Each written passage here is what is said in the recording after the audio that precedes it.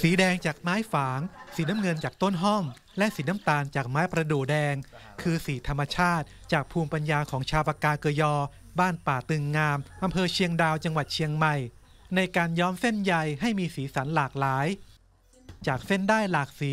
หญิงชาวปากกาเกยอยังต้องใช้ความอุตสาหะ ในการแยกและม้วนเส้นได้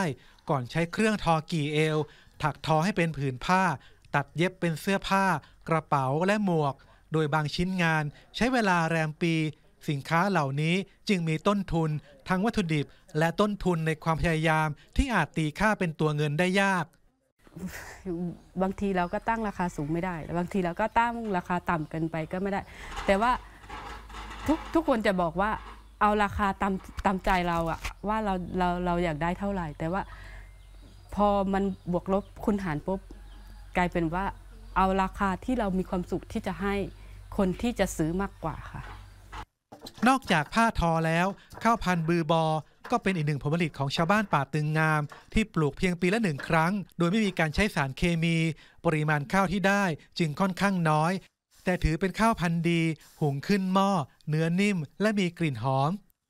บ้านป่าตึงงาม มีประชากร 127 ครัวเรือนก่อตั้งมากว่า 120 ปี อยู่ในเขตอุทยานแห่งชาติสีล้านนา เป็นชุมชนที่โอบล้อมด้วยป่าเขาที่อุดมสมบูรณ์ มีผลผลิตทางการเกษตร ที่นำมาแปรรูปได้หลากหลาย ทั้งข้าวพันธุ์ดีหวายลูกหม่อน และน้ำผึ้งป่า ธรรมชาติที่ยังสวยงาม ชาวบ้านจึงเปิดเป็นโฮมสเตย์รับนักท่องเที่ยวเข้ามาเรียนรู้วิถีชีวิตชาวปากาเกยอ หวังให้คนรุ่นใหม่ไม่ต้องจากถิ่นฐานไปทำงานนอกพื้นที่เราสามารถรักษาวัฒนธรรมของพี่น้องชนเผ่าบางกยอ โดยการ ผ่านการทอผ้านะครับ โดยให้มีเยาวชนมีบทบาท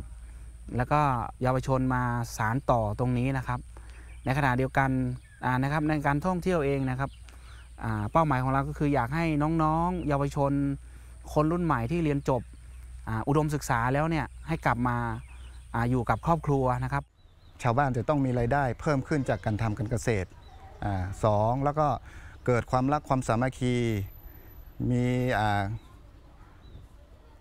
มีความร่วมมือในการทำงานกลุ่มต่างๆนะครับมีมีการเอื้อเฟื้อเผื่อแผ่หรือว่ามีการถ่ายทอดความรู้ภูมิปัญญา ให้กับเด็กรุ่นต่อไปครับชุมชนป่าตึงงามเป็นหนึ่งในพื้นที่เป้าหมายที่ภาครัฐและภาคเอกชน เข้ามาสนับสนุนการสร้างผู้ประกอบการยุคใหม่ โดยนำสินค้าภูมิปัญญาในท้องถิ่น มาพัฒนาต่อยอด และจัดทำแผนท่องเที่ยวชุมชน ผ่านช่องทางออนไลน์ เพื่อเพิ่มรายได้ และหวังให้ชาวบ้านมีความเป็นอยู่ที่ดีขึ้น พยุงศักดิ์ศรีวิชัย ไทย PBS รายงาน